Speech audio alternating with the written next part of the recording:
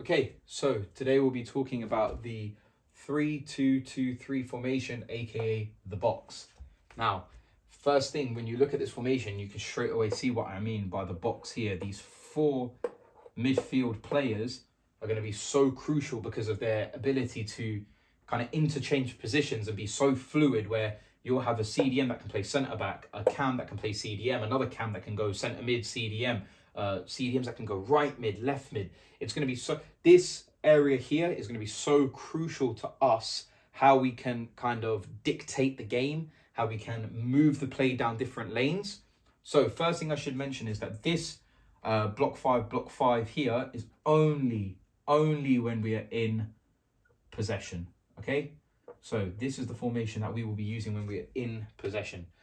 You'll have um, your back line of Malachi as your centre back, Ayan left back, and Ibad right back, but they're going to be playing more uh, left centre back and right centre back roles.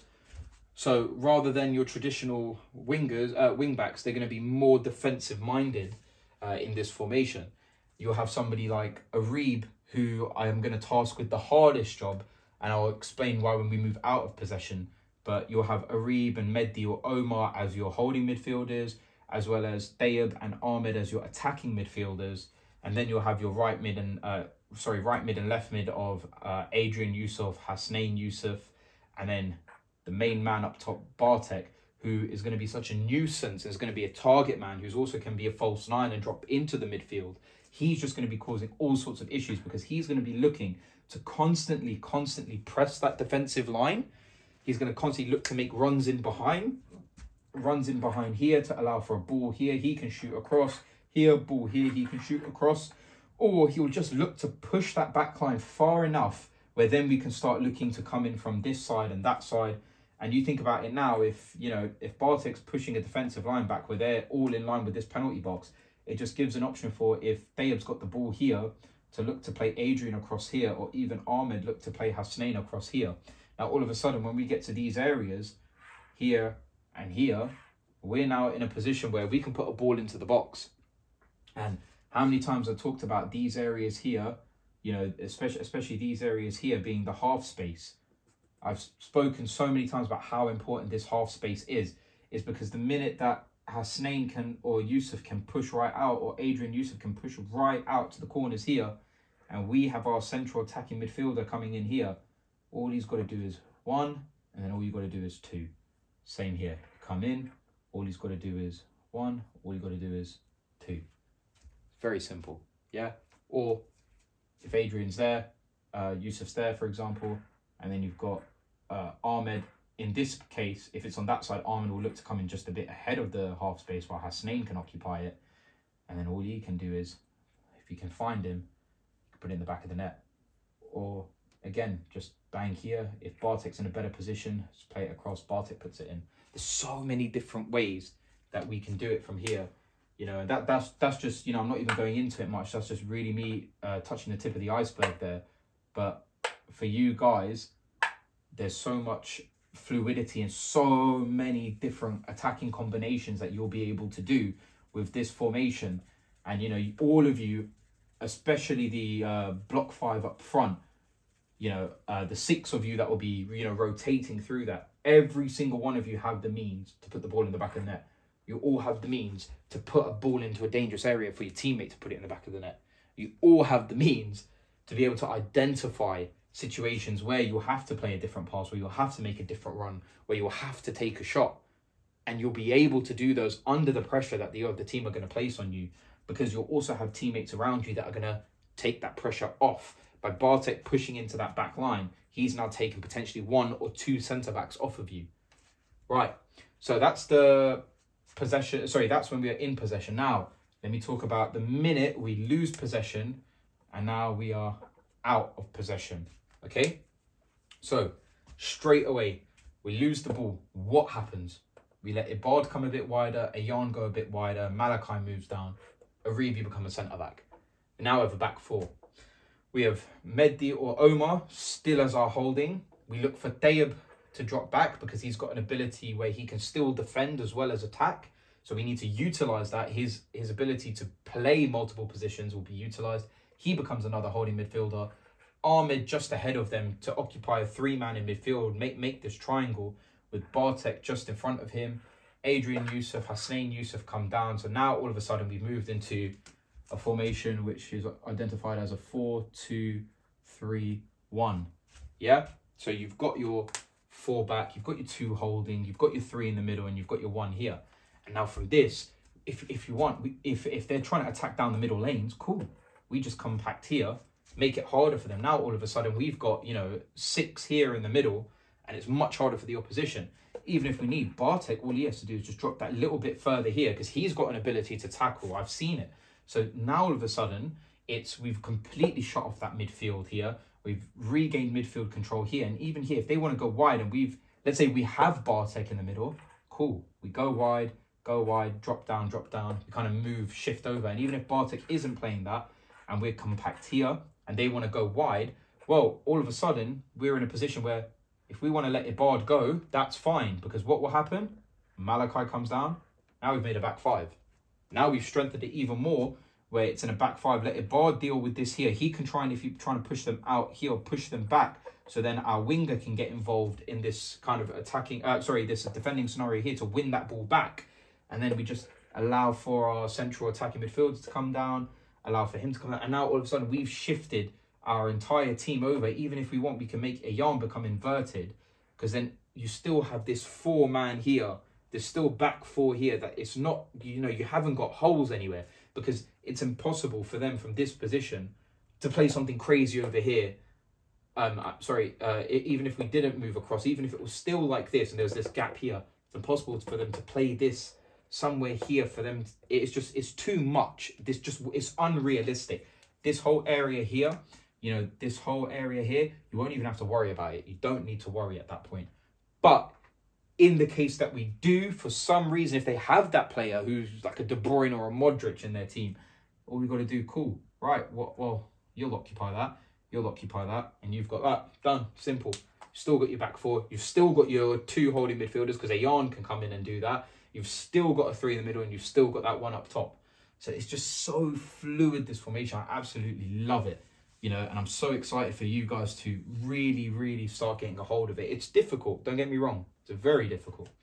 But I wouldn't I wouldn't tell you guys to use this formation if I didn't believe in your lot's capabilities, you know. And now let's talk about so we've done in possession, out of possession. Now we're going to talk about how we how we transition, okay? So we're going to talk about how we transition out of the 4-2-3-1. So let me just put this back into like a, a 4-2-3-1 here and here. So remember Arib, Malachi, Ibad, Ayan, uh, Tayeb, Mehdi Omar, and then wingers and attacking. So let's say now we're in a position where the goalkeeper's got the ball.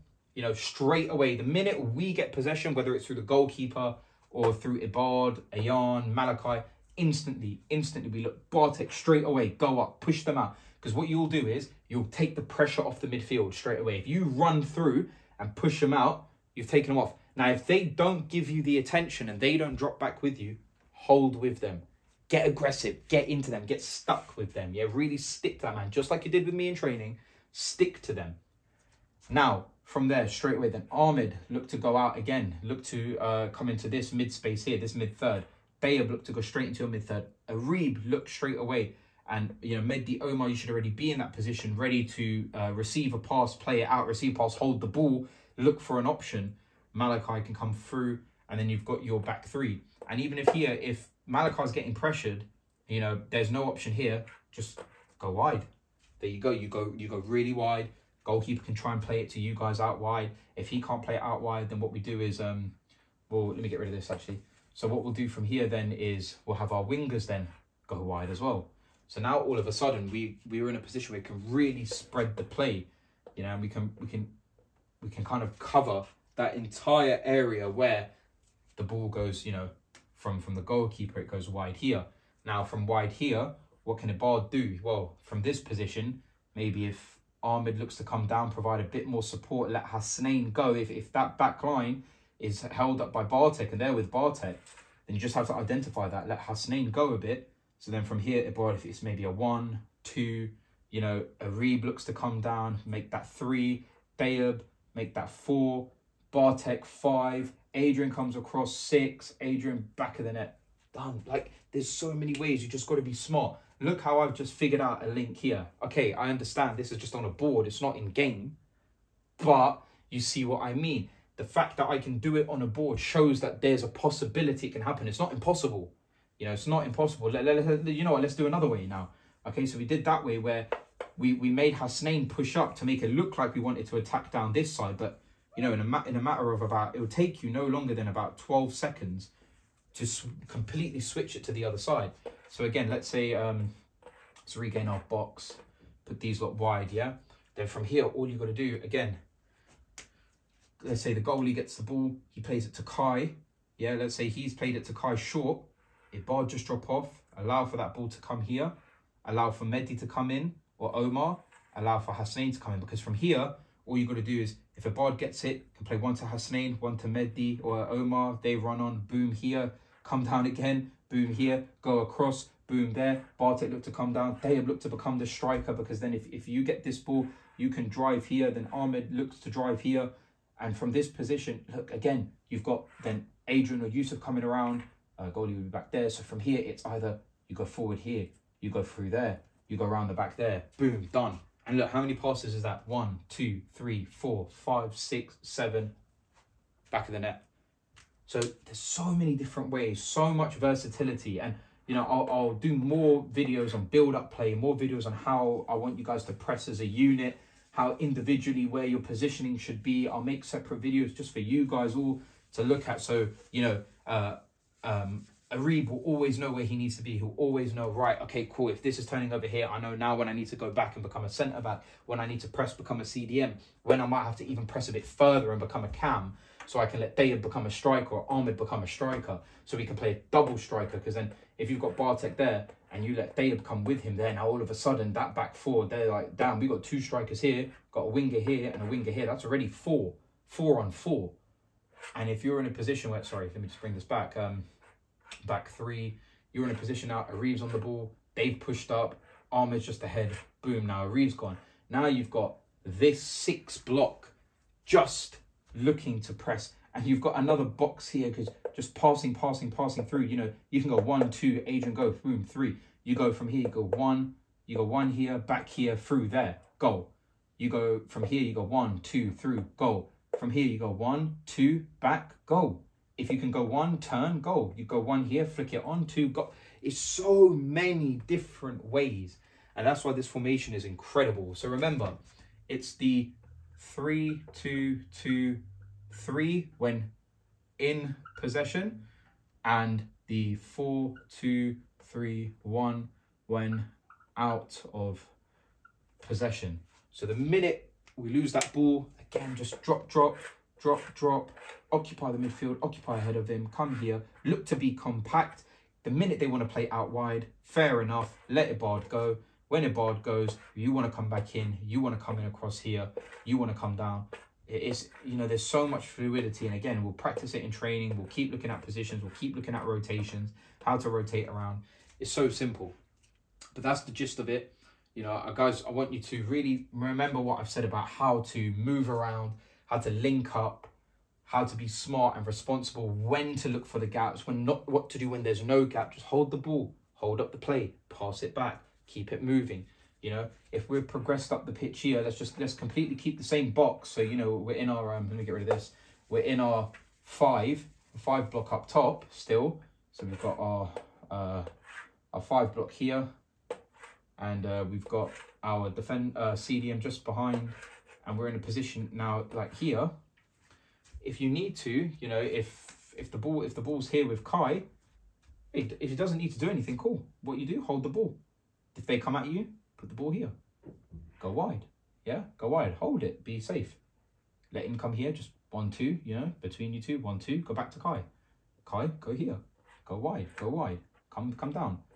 You know. Then you want to play it here. Cool. Then he, if he wants to play it back here, cool. It, doesn't matter. We don't need to progress. Hold the ball the opportunity will come then maybe when you play this ball here that you can actually play a ball here for him to then run onto. Once he's in this position, it's it, it's a you know it's a seventy percent chance you're going to score once you're in that position because you should be able to have teammates that identify when that ball, you know, if he's wide, but remember the ball's here, he's not going to stay wide, is he? He's going to look to come inverted a little bit. So he's always in that position, just be in this area to get that ball to put it in the back of the net. So guys, again, that's this. Watch this, keep watching it, remind yourself every day, you know, not every day, that's overkill, but keep reminding yourself, this is the formation, this is how we're going to play, this is how we're going to do it.